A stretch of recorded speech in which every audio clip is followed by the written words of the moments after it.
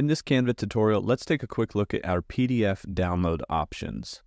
So I have a sample planner opened up here and it's several pages, almost 50 or more. And you can see it's just different pages with different designs on each page. Pretty much looks like a planner. So if I wanted to download this as a PDF, I would go up to the share button in the upper right and go to download. From here, under file type, I can select two different types of PDF. PDF standard, which is best for just standard documents or emailing.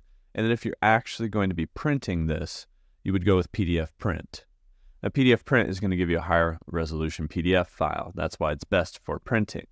If we do click on PDF print, we can include crop marks and bleed.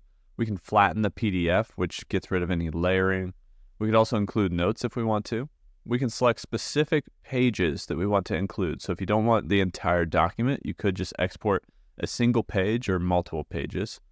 We can also select the color profile. Now this is where Canva Pro comes in. You need Canva Pro for CMYK printing, which is the best for professional printing. Although to be honest, you can convert it later uh, from RGB to CMYK.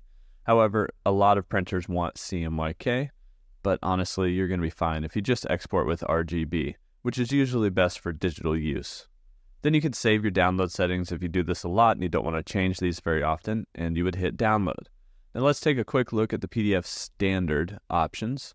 The first difference here is you can't include the bleed or the crop marks because this isn't really for printing, so I wouldn't do this one for printing. So since those are print only options, I wouldn't use that anyway.